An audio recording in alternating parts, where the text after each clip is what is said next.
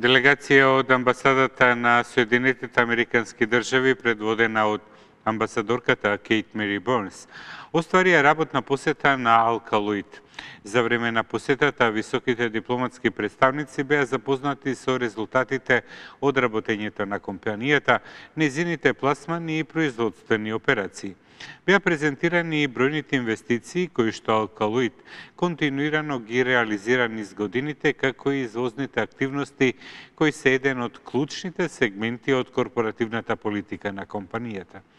Акцентот на посетата беше ставен на долгогодишната успешна соработка на компанијата со САД, каде што Алкалоид Аде Скопје во 2005 година основаше своја подружница со седиште во Нью Олбани, Охајо.